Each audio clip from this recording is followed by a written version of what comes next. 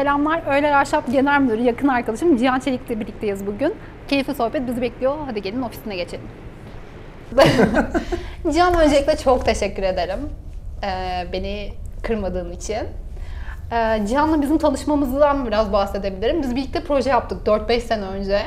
Evet. Orada inşaat mühendisi kısmında kendisi statik projeyi çizmişti. Uygulamada var mıydın hatırlamıyorum. Yok arkadaşımız yapıyordu o, e, o işi. E, Biz de proje kısmında destek vermiştik böyle. Aynen. Evet. Biz orada oldu. tanıştık. Evet. Aynen. Evet, Nasıldı? Nasıl bir Evet. Va- Tecrübeydi senin Vallahi yani senin şey, e, tabii o zamanlar biraz daha böyle yeni iş- işler, projeler falan yapıyorken e, Benden kaynaklı değil bile.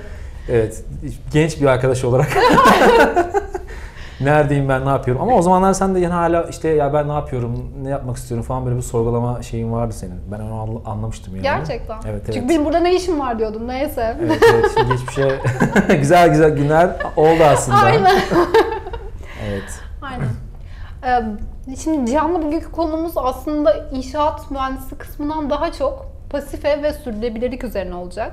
Kendisi biraz böyle vizyoner bir şahıs olduğu için bu konularda onunla konuşmak istedim. Çünkü Türkiye'de bu konu çok geride duruyor ve hani aslında dünyada bayağı ilerlemiş durumdayken, yol alınırken Türkiye'de mimarlar bile, mühendisler bile bu konudan çok uzaktalar. Ciddi anlamda uzaktalar ve hani büyük başlı mimarlar, mühendisler bile bilgisi yok ve bu konuda hani sana gelmek istedik, konuşmak istedim. İlk başta şunu sorabilirim sana. Pasif ev ve sürdürülebilirlik nedir? Onları tanımlar mısın? Şimdi e, dünyada bazı e, sertifikasyon kriterleri var. Şimdi Amerika'nın e, kullandığı LEED var. İşte US Green Building tarafından e, da takip edilen. İngiltere'nin verdiği işte ismi kısaltma ismi BREEAM olan var. Bir de Almanya'nın e, kullandığı PHI var. Pasif Türkiye House. var. Türkiye'de de tabii Pasif House'un Türkiye'deki temsilcisi var SEPEV. Sıfır Enerji ve Pasif e, Sıfır Enerji ve Pasif Ev Derneği. Biz zaten onun üyesiyiz aynı zamanda. Aslında SEPEV ile beraber de e, biz yine bu konularda bu Türkiye'de hem farkındalık kazandırmaya çalışıyoruz hem de bir de yaygınlaştırmaya çalışıyoruz. Bununla ilgili çalışma yapıyoruz. E, İlk de 1991 yılında Darmstadt'ta Almanya'da yapılmış bir denenmiş bir proje. 30 yıldır takip ediliyor ve bunun ciddi bir getirileri olduğu görüldü. E, Pasif evler genel anlamıyla zaten dünyada işte enerji korunumlu evler, az enerji tüketen evler literatüre girdi. Önümüzdeki süreçte de bu ciddi manada e, kullanacağını görüyoruz. Yani test edilmiş, takip edilmiş ve e, gerçekten çalıştığı görülmüş ev sistemleri olarak şu an kullanılıyor. Senin bir de uzmanlaştığın bir alan daha var yani özellikle argesinde bulunduğun hani Türkiye'de hatta e, üniversitelerle görüştüğün işte yurt dışındaki hocalarla irtibata geçip Evet. üretime girdiğin ahşap konusu var. İşte dünyadaki ahşap işte gökdelenler, stadyumlar bunlar Türkiye'de gerçekten bilinmiyor ve hani bu konuda ne dersin? Nasıl gidiyor? Gidişat ne? Ya aslında şöyle bir şey var. Ahşap malzeme ya bizim e, 1900'lerde betonarme malzemenin gelmesiyle beraber biz biraz kopmuşuz. Aslında bizim geçmişimizde Selçuklu mimarisi, Osmanlı mimarisinde ahşap malzeme varmış. Hatta böyle çivi çakılmadan e, yapılan yapılar, işte geçmeli sistemler varmış. Japonya o kültürden kopmamış. Hala daha devam ettirip çok hızlı bir şekilde ilerleyebildi. Biz kopmuşuz ve sonra bu malzeme unutmuşuz. Aslında ahşap malzeme insan sağlığı açısından çok e, faydalı. İnsanın stresini alan çok doğal bir malzeme, sürdürülebilir bir malzeme. Şu an ahşap malzemeyi alıp hem üretim kısmında yani ham madde üretim kısmında ciddi bir know-how'ları var. Hem de o maddeyi, malzemeyi alıp işleyip artık mühendisliksel anlamda inşaat projenin kullanılması için uygun bir hale getirdiler. Yeşil kredilerden de, de şu aslında Mer- Avrupa Birliği Bank, Merkez Bankası e, finansman e, tipleri belirliyor. Tabii biz, bizim ül- ülkemizin bankaları da tabii ki bu ülkelerden kredi alıp kullanabiliyor. Bu şu demek olabiliyor. Yakın zamanda yani bu çok yakın derken 5-10 seneden bahsetmiyorum. Daha yakın süreden bahsediyorum. Yakın zamanda mortgage, mortgage kredileri gibi aynı şekilde bir projelendirip çok daha düşük e, kredi oranlarıyla evlerin e, alması. İşte, tamam e, belki evinizin ilk yatırım maliyeti fazla ama toplamda size o yani evin toplam maliyeti aslına bakarsanız daha e, feasible hale yani daha e, tutarlı hale geldiği için daha aslında şey gelecek elinize. Yani elinizde hem kaliteli bir ürün Aynen. hem de doğaya doğaya daha az zarar veren, hiç zarar vermeyen neredeyse bir kaliteli ürün olmuş olacak. Bunu şu an çalışılıyor. Aynen. Yani bu yakın zamanda Evet yani gelecek. bir müteahhit tarafındaki etkisi bu aslında. Hani o sektörel e, hareketi biraz zorlamış oluyor bu e, yönlendirmiş oluyor diyebiliriz. Çünkü onlarda da maliyet açısından bir tabii ki endişe oluyor. İşte gerekli var, gerek var mı? Hani yapıp çıkalım, hemen satalımdan ziyade aslında hem onlara bir kalite sunuyor Kesinlikle. projelerine Kesinlikle. hem de e, son tüketici olarak müşterilere de Ya zaten şimdi hani bunun aslında bir tarafı da diğer tarafı da şu. Aslında sadece biz genelde ilk başta şekile bak bakıyoruz. Hani Aynen. ev güzel mi falan ama sonra mesela içerisine girdiğimiz zaman orada yaşamın da bir anlamı var. Yani ben e, yani biz şirket olarak görüştüğümüz bankalarda henüz daha tam oturmuş bir yani kağıt üzerine oturmuş bir şey yok. Önce bunun Avrupa Birliği merkez bankalarında, işte Amerikan merkez bankalarında bitip bitip e, ya da işte bu e, fonlarda yani Aha. bir uluslararası fonlardan netleştirdikten sonra bankalara direkt aktarılması zaten var. Aslında fonlar direkt alıp oradaki aldıkları finansmanı direkt bize uygulayacaklar. aynen E, tam net bir şey yok ama ciddi bir yani yakın zamanda belki iki sene içerisinde artık bu netleşecek. e, gerçekten çıkacaktır. Bizim ona artık hazır olmamız lazım. Çünkü Evet. yani çok ciddi bir aslında potansiyel var. Evet. Ee, bir de tabii insanların artık hani doğada e, zaman geçirme, orada yer alma ihtiyaçları var. Onu da karşılayabiliyor olmak lazım. Ee, burada bir ciddi güzel bir potansiyel aslında var. Mesela şu an Londra'da, Londra'nın göbeğinde yani 150 metrelik kule ahşaptan yapılıyor. Japonya'nın merkezinde, Japon zaten Japonlar demiştim çok kopmadılar ahşaptan. 350 metrelik kule projesi yapılıyor. Onlar yapacaklar. Zaten bu e, olimpiyatlar oldu orada, orada hatırlarsan. 2020.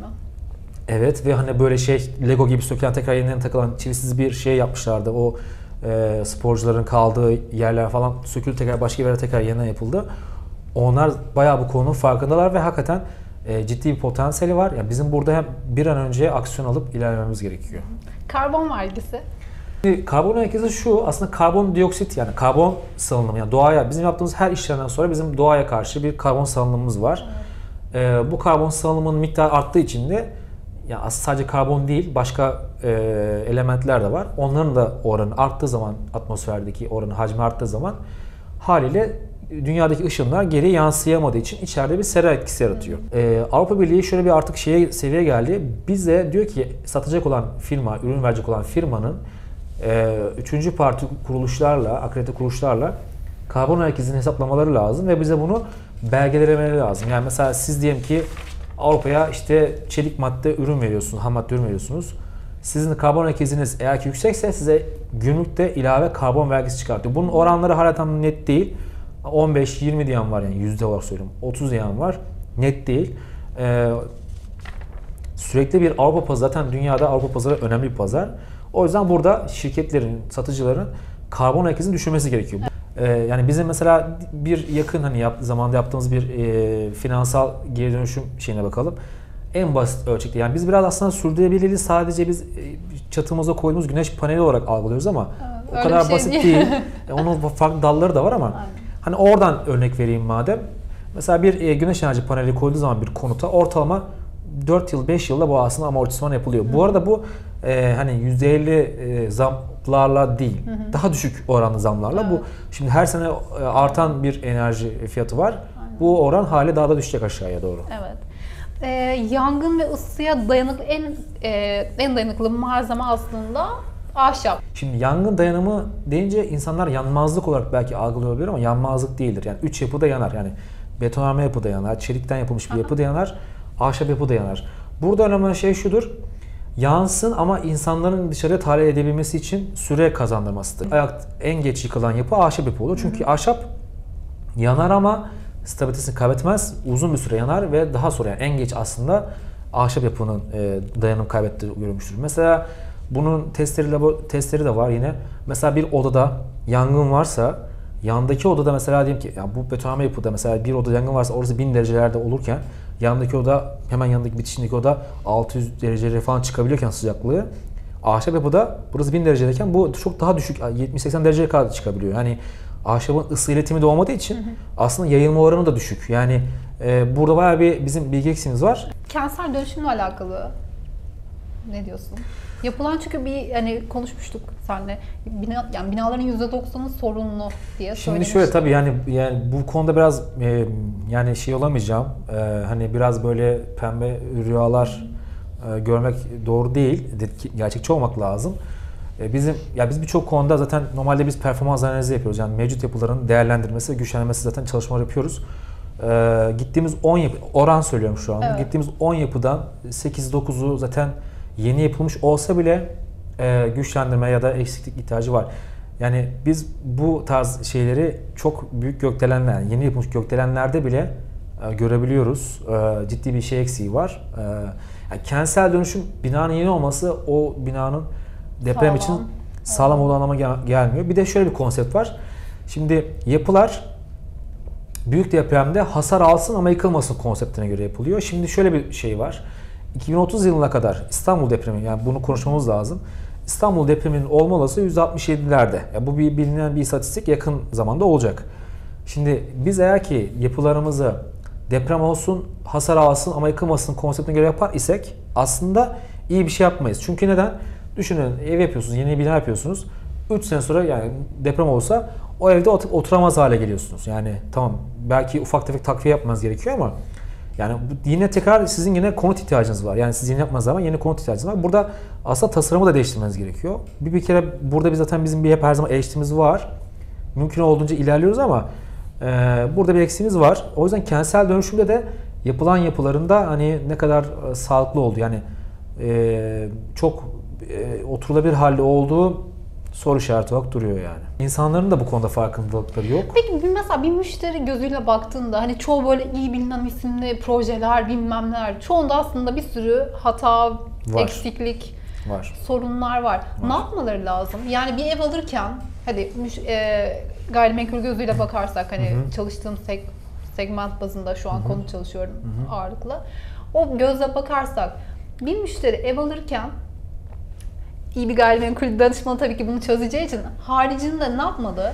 Ya şimdi şöyle mesela Yani neyi sormalı inşaat firmasına? Sen- Demeli ki bana şu bilgileri var. Çünkü benim hakikaten mesela konuştuğum da bir şeydir. Bir e, yemek alırken, bir şey alırken içindekilere bakarsın. Bir tane pa- paket vardır, içinde yazar. Biz işte yok şu marka seramik, bu marka batarya. Bu kadar bilgiye sahibiz. Aslında onun hani değerlendirmesi ondan daha önemli şeyler var. Kesinlikle. Şey sormaları lazım. Bu büyük bir şey olur. Yani bu firma ne kadar zamandır var? Gerçekten branşları bu mu? Yoksa sadece işte belli bütçeleri vardı hemen bu işe girdiler mi? O çünkü orada tamamen kişinin inisiyatifine kalıyorsun. Orada direkt kar amaçlı olduğu için de e, ne aldığınızı kontrol edemiyorsunuz. Ya ben mesela e, mimar olarak çalıştığım dönemde hani şunu yaşamıştım. Çok da böyle e, Türk bir firmaydı. Çok kurumsal böyle inanılmaz bir geçmişi de yoktu. Ama adam bilinçliydi ve gelmişti. Çok prestijli bir plaza diyeyim. Yani bayağı prestijli bir plaza. Ona rağmen beton örneğini istedi ve o e, örneği kendi üniversiteye yolladı ve inceletti. Ben şaşırmıştım hani adam biz binaya sunduk hani her şeyi. Bu benim çok hoşuma gitmişti. Bunu bir Türk biri yapmıştı. Zaten yabancı firmalar istiyor genelde ama Evet. Yani parametre olarak aslında şöyle bir şey var. Bizde mesela yani bunda ma- maalesef hani şey var. Şimdi malzeme konusu evet iyi olabilir ama sadece malzemenin iyi olması yani Yetmez. betonun iyi olması yeterli değil. Evet. Orada e, strüktürel Aynen. tasarımın da iyi olması gerekiyor. Diğer donelerin de iyi olması gerekiyor. E, O konularda da eksiklikler olabiliyor bazen. Dediğim gibi yani biraz burada yani en başta bir kere eğer ki böyle mahalle arası firmalardan e, inşaat almak mahalle değil de arası bir firmadan satın alacak. Ne yapacak? Yani mahalle arasında bir e, küçük bir müteahhitin yaptığı bir e, şeyden çok beğendi. Fiyatı da okey. Çok Ne- da ne sevdi. yapsın? Ne yapsın yani? O zaman Adam ne şöyle, o zaman şöyle bir trik vereyim. Bu, bu triği de herkes vermeyebilir. Depremin olduğu bölgelerde en fazla etkilenen yapılar eğer ki bunlar bitişik yapılar değil ise yani ayrı ayrı yapılar ise genelde 7 katlı 10 katlı yapılar çok daha fazla etkilenirler. Yani eğer ki yapı alacaksa bu insan ya 2-3 katlı yapılarla düşünebilir ya yüksek katlı yapıları düşünebilir. Çünkü zaten yüksek katlı yapılar genelde büyük proje ofislerinden çıktığı için aslında iyi tasarlanmıştır, iyi denetimin geçmiştir yani yüksek olduğu için. Ya da daha alçak katlı yapılar değerlendirilebilir. Alçak katlı yapı olduğu için de yine riski azdır. Diyebilir ki ben bu işin projesini, statik projesini istiyorum. Statik projeyi mi istemeli? İsteyip bir iyi bir yani firmaya, mühendislik firmasına kabaca "E, bu böyle bir proje bunda sorun olur mu olmaz mı diye gösterebilir. Ama, benim tavsiyem e, dediğim gibi 2-3 katlı yapılar alması ya da böyle daha büyük projelerden e, eğer Daha ki yüksek katlı. yüksek katlı yapılar içerisinde alabilse kendini daha avantajlı yani korumuş olabilir diye düşünüyorum. Sürdürülebilirlik bu işte yeşil bina falan bunların hani böyle bir moda ta, ta- yani tanım olarak değil gerçekten bir konu ve gelecekteki gidişatın olduğunu hani gördüğünü biliyorum. Yani evet bu zaten bir ihtiyaç haline geliyor. Hani Çünkü atıyorum loft işte bir mimari şeydi biraz hani akım gibiydi. Hani herkes loft evler vesaire işte penthouse'lar şunlar bunlar ama bu öyle bir akım gerçekten değil. Bu bir hani moda değil. Bu bir dönem Şimdi artık. şöyle söyleyeyim mesela pandemide ne getirdi bize? Bu belki konu dışında ama pandemi Yok, bize ne getirdi? Direkt bize dedi ki ya senin alıştığın her şey aslında bir e, illüzyon yani. Aynen. Bizim mesela şu an yaptığımız kahve içmek bile aslında lüks haline geldi değil mi? İş yapış şeklimizi değiştirdi. Çünkü biz zaten online'da da iş yapabiliyor hale geldik. Evet. Şimdi artık insanlar online'da da iş yapabildikleri için yani laptop olan sitelere iş yapabildiği için aslında ona o insanlara siz doğa içerisinde de zaman geçirebilecek şekilde bir imkan sunar iseniz aslında o insanlara da yeni bir hayat tarzı vermiş oluyorsunuz. Belki orada arka bahçesinde işte Evet. tarımını yapabileceği, bir, kendi bireysel tarımını yapabileceği imkan verirseniz hayatını değiştiriyorsun insanlara. Mesela bunu komit hali, mesela şu an bu örnekleri var. Mesela Amsterdam, Hollanda'da Amsterdam kanalı üzerinde e, Şeyler Sean. Schripp Sean diye bir proje var mesela. O da yüzen ev demek. Evet. E, o şey o dilde. E, mesela 32 tane hane, bir ev, bir komite haline gelmişler. Bunların mesela evleri birbirleri konuşuyor. Çok iyi. Birbirlerinin ihtiyaçlarını karşılayabiliyorlar. Mesela evler böyle akıllı evler ama akıllı ederken böyle hani gerçekten akıllı. Mesela işte hava durumunu bilip önceden ona göre ısıtmayı soğutmayı bile ayarlayabilen, işte havalanmayı ayarlayabilen evler bunlar. Yüzen evler. Aslında dünya ona gidiyor. Yani community community e, daha böyle şehir merkezinden yakın, yakın mesafelerde community'ler halinde birbirine kendi kendine yetebilen e, yaşam alanları haline dönüşüyor. Buraya bir gidiş var. Zaten aslında artık dediğim gibi hani bu pandemi bize neyi gösterdi? Bizi bir, aslında insanoğlu bir sarstı. Yani sonsuz tüketim peşinde koşuyoruz. Yani her şey sanki sınırsızmış gibi tüketim içindeydik. Bir an bizi sarstı ve dedik ya dur böyle bir sonsuz kaynak yok. Tamam. Çok teşekkür ederim Cihan'cığım.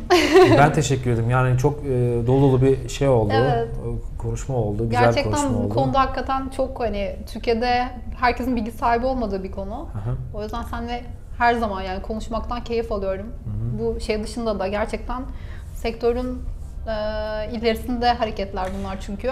Evet. Yani senin de bu konu desteğinin esirgenemez. Yani sen çok destek veriyorsun bize. Oo. Teşekkür ederiz. Yani biz başka başka konularda hani hep bu senin de farkındalığın çok yüksek. Zaten e, anlaşabiliyoruz birçok Evet. konuda. Senin de bu konuda yapmak istediklerin olduğunu biliyorum. Ee, biz bir be- belli ki hani önce olmamız gerekiyor bazı Aynen. konularda ama dediğim gibi insanlar da meraklılar. Ya ben Yani yakın zamanda bu işe biraz finans gözüyle bakıyorlar. Çok kimsenin her- kimsenin demeyeyim de genel itibariyle finans ve e, şey e, hani ona bir artı çok bir şey katmıyorsa finans dışında bir şey. yani evet çok- işte bu kredilerle Aynen. birlikte bu iş biraz daha artık Aynen. gelişecek yani. Evet, evet. Tamam çok teşekkürler. Ben teşekkür ederim. Tekrar yine bekleriz belki Evet. ilerleyen